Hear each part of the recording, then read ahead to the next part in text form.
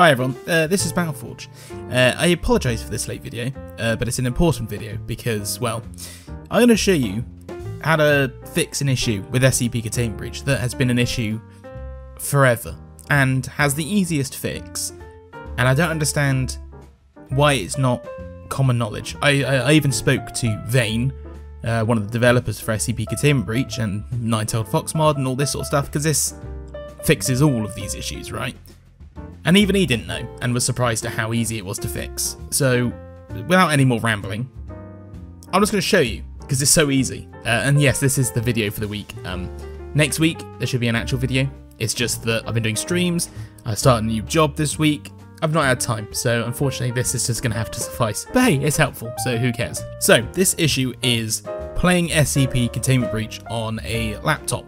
So you may notice voice come back. So you may notice that when you try and play SCP Containment Breach on a laptop, uh, a few issues can happen. Uh, the first being that when you open the launcher, uh, it doesn't show the graphics card that your laptop may have. Uh, this obviously only applies to gaming laptops that have, like, say, this one, which, which has got a, uh, a GTX 1050 in it. Uh, you'll notice it only has the Intel integrated, which is weird because you know your laptop's got that graphics card and other games utilise it. You may remember this from Batesy's and mine uh, SCP Nine-Tailed Fox mod playthrough way, way back when that came out.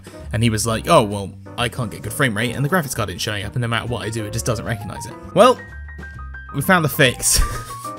so, what you have to do is you want to go to your NVIDIA control panel. This obviously applies to people that have an, you know, an NVIDIA GPU chip uh, once that's opened, you're going to go to Set Physics X Configuration, or PhysX, whatever you want to call it. And when you open that, you'll notice that your GPU will be uh, set to a output. Mine is, only has one HDMI out port, uh, but you'll notice that that has NVIDIA GeForce GTX 1050 related to it.